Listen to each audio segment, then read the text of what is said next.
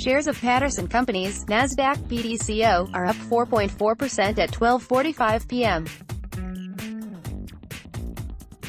EDT, having been up as much as 12.1% after the dental and animal health company announced results of its fourth fiscal quarter that ended on April 28. Rather than being a case of Patterson hitting the ball out of the park, today's increase is more like investors cheering because it didn't strike out.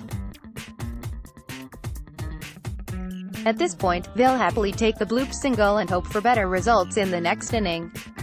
So what this time last year, management was looking for adjusted earnings for recently completed fiscal year of $2.25 to $2.40 per year. By the second quarter report, expectations had fallen to $2 to $2.10 per share. And after the third quarter, management was only guiding for $1.65 to $1.70 per share. Patterson was able to hit that revised revised range with non-GAAP earnings of $1.68 for the fiscal year. Break out the peanuts and cracker jacks. Image source, Getty Images.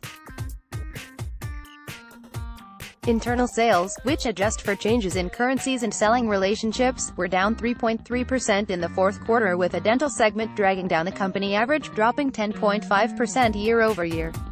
Management blamed the realignment of its sales force, transition of its enterprise resource planning platform, and dentists continuing to transition to digital equipment. The larger animal health division isn't exactly stealing any bases with internal sales of the division up 2.4%, but at least sales aren't declining.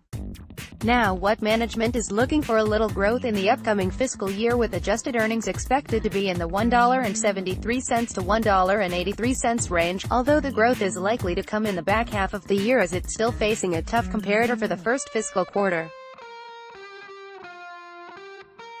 Today's results are a good start to the turnaround, but risk-averse investors should be careful as it's likely a long road back, especially with antitrust violation allegations hanging over the company.